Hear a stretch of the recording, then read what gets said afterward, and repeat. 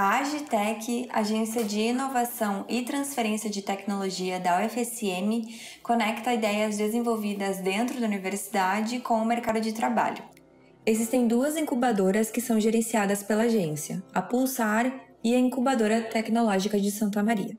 Juntas, elas abrigam quase 40 startups, empresas recém-criadas, que geram mais de 150 empregos em Santa Maria e região.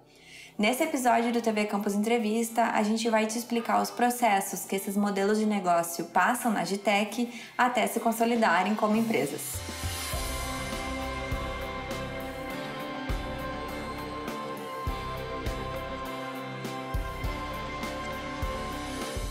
Eu sou Eduarda Costa, estudante de jornalismo na Universidade Federal de Santa Maria. Nesse episódio, recebemos Hélio Leães Ei, diretor da Agitec desde o ano de 2014. Olá, professor Hélio, seja bem-vindo ao TV Campus Entrevista. Olá, Eduarda. Professor Hélio, apesar do cenário de crise devido à pandemia de Covid-19, as empresas incubadas tiveram um faturamento recorde em 2020. Ele foi superior a 5 milhões e meio de reais, valor 40% maior que no ano de 2019. Esse resultado é consequência do caminho que a UFSM vem concretizando no empreendedorismo? É, com certeza, Eduarda. Mesmo com toda a crise que nós passamos aí sanitária no Brasil e a crise econômica gerada por essa crise sanitária, nós tivemos agora em 2020 um recorde é, em termos da arrecadação, é, de valores de arrecadação de empresas incubadas e também de impostos pagos ao nosso município por essas empresas. Né? Da mesma forma que o número de empregos também ele vem sendo, é, mesmo com toda a pandemia e o home office, o número de empregos vem se mantendo num patamar aí próximo dos 200 empregos é, espalhados pelas 40 empresas incubadas que nós temos hoje. Vocês possuem o programa de pré-incubação para que os pesquisadores possam modelar suas ideias de negócio. Quem pode se candidatar e em que situação o projeto precisa estar para ser aceito no edital de pré-incubação? Nós temos dentro do processo, digamos, de geração de negócios e empresas incubadas, startups, na nossa universidade, nós temos é, duas etapas. Uma etapa que envolve a questão da pré-incubação, que você pergunta, e a etapa depois seguinte da incubação. Na etapa de pré-incubação, cujo edital deve estar saindo nos próximos dias, aí o edital é, para esse 2021 agora, é, quem pode se candidatar? Qualquer grupo de pessoas, desde que pelo menos uma dessas pessoas tenha matrícula ou SIAP é, na UFSM. Né? O processo para inscrição é bastante simples, ele é simplesmente composto por uma, um pitch, né? a gravação de um, de um vídeo de três minutos, onde é apresentado pelos candidatos o potencial da proposta ou da ideia que está sendo incubada. Né? Nesse nível de pré-incubação, basta que uh, o empreendedor tenha uma ideia, né?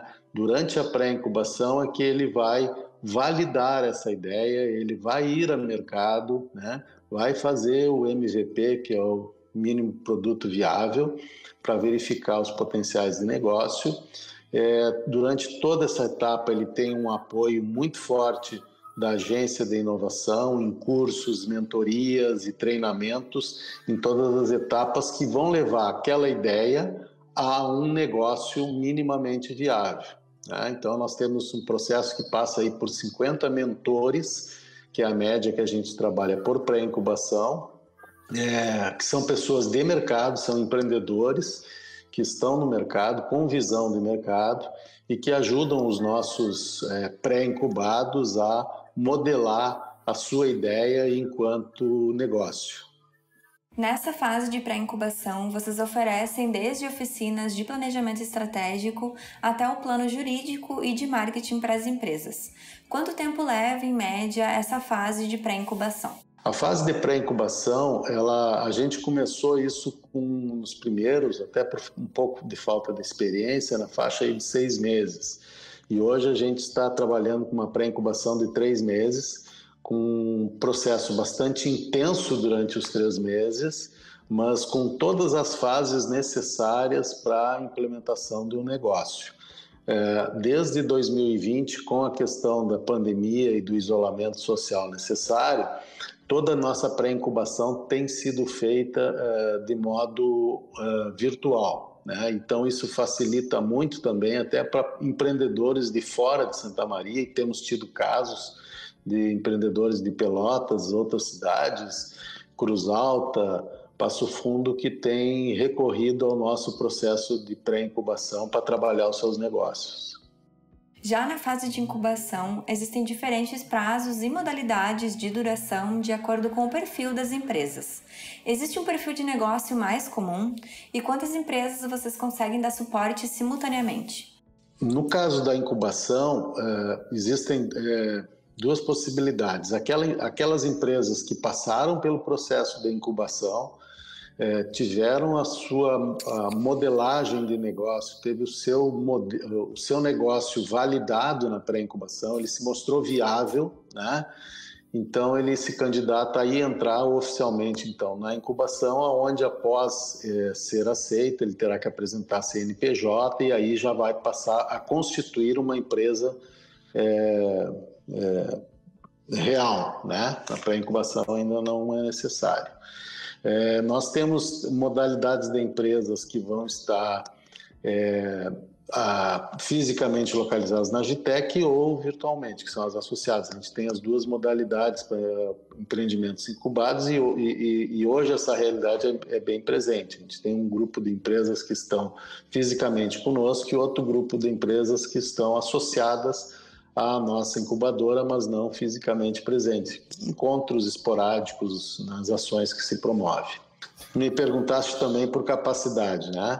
É, eu te diria assim, no processo de pré-incubação, na média nós temos tido em torno de 20 a 25 é, é, propostas selecionadas para essa fase de validação do negócio. Então, esse edital que sai agora sai com a possibilidade de 25 é, propostas a serem, digamos, selecionadas para serem trabalhadas.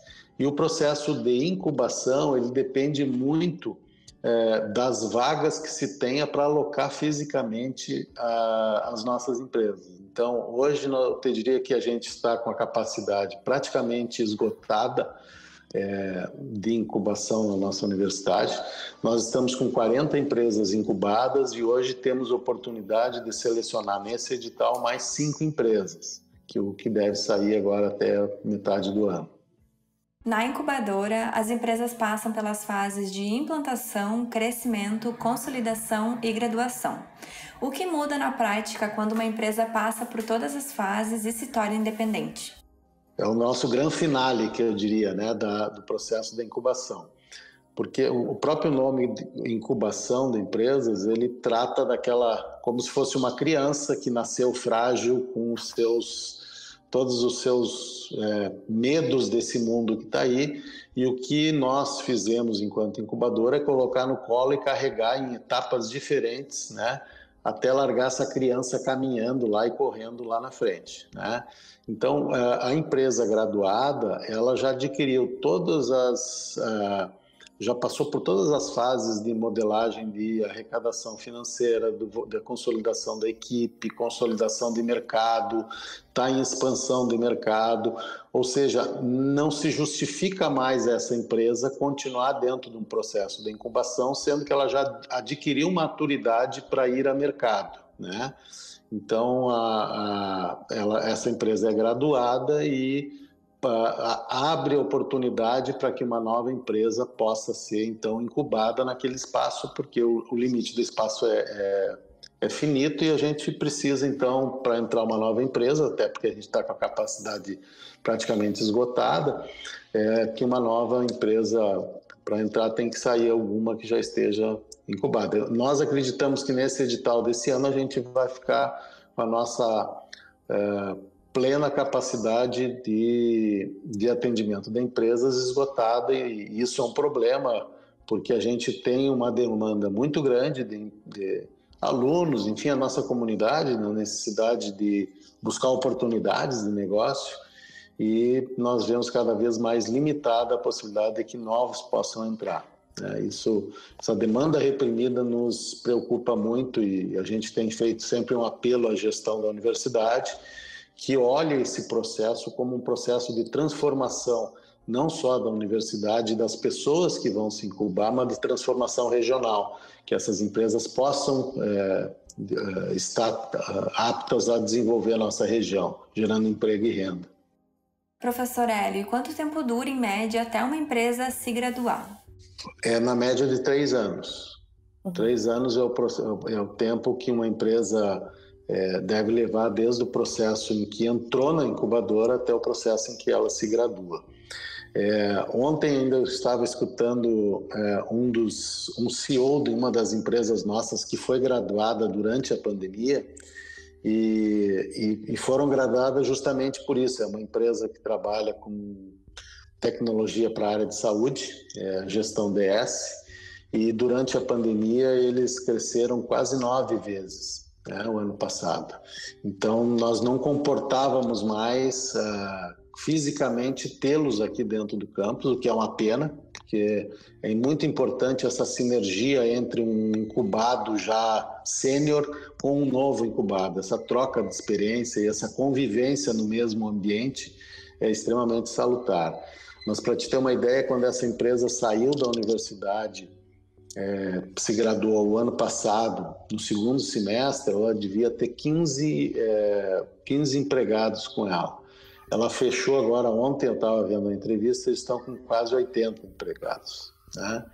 Então, é, eu não vejo um projeto maior de inclusão social do que um projeto como esse, gerado por alunos, gerando esse volume de empregos, de volume de pagamento de, esse, de, de impostos locais, não são empresas que vão pagar impostos para outras outros estados, não, são empregos que, empresas que deixam a renda e o emprego na nossa, local, na nossa cidade. E sobre a incubadora Pulsar, que em 2021 completa cinco anos de fomento à cultura empreendedora dentro da universidade.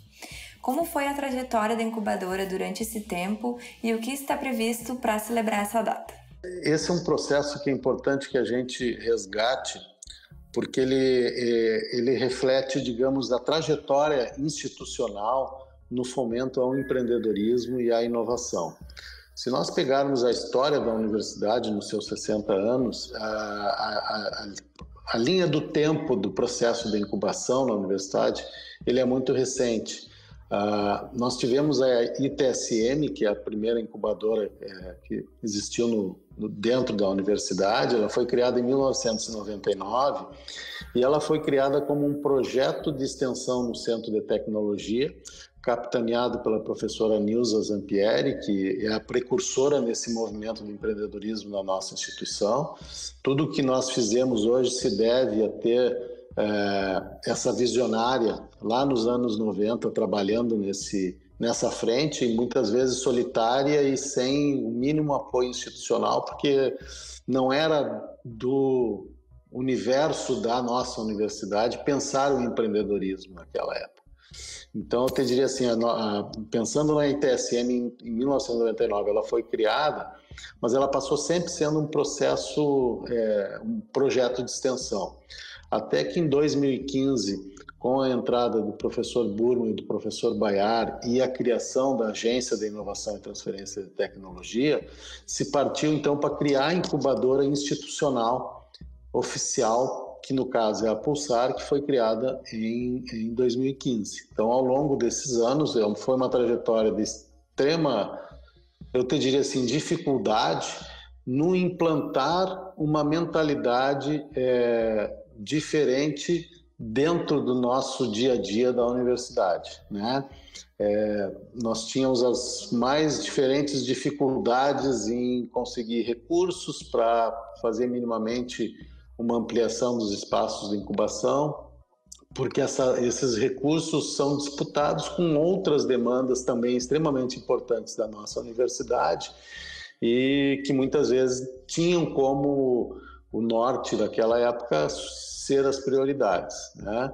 mas a gente avançou bastante com a sensibilidade das nossas gestões, e aí eu diria do professor Bruno Ibaiar e agora do professor Burman e Luciano Schuch, e conseguimos avançar. Estamos avançando agora. Uh, esse ano de 2020, nós, a, universidade criou o parque, seu parque tecnológico, Parque de Ciência, Inovação e Tecnologia, com o intuito de é, permitir, inclusive, que essas empresas que se graduam na universidade possam ser transformadas numa empresa de parque, já com maturidade, para ganhar novos mercados e permanecer no âmbito da universidade. É muito importante que essas empresas permaneçam no nosso entorno, por quê? Porque elas geram emprego para os nossos alunos e conectam os nossos alunos com as demandas reais de mercado. Então, os nossos alunos não trabalham é, de forma, digamos, visionária em possíveis temas ou possíveis problemas de mercado, mas elas estão dentro de uma empresa atuando em demandas do dia a dia do mercado.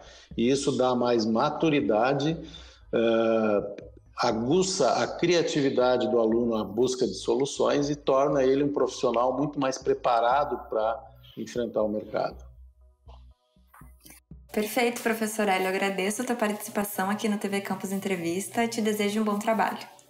Obrigado, obrigado Eduardo, obrigado a todos da TV Campus aí, um bom trabalho para vocês e vocês também são desbravadores aí em levar o que se produz na nossa universidade, os diferentes potenciais que se tem para que seja isso disseminado na nossa comunidade. Obrigado pelo trabalho de vocês também. Este foi o TV Campus Entrevista sobre a Agitec agência que fomenta o empreendedorismo dentro da universidade. A gente volta na próxima segunda às 8 da noite no YouTube da TV e no canal 15 da NET Santa Maria. Você também pode ouvir a nossa versão em podcast no seu tocador de áudio favorito ou nos acompanhar na programação das rádios da universidade. Até o próximo!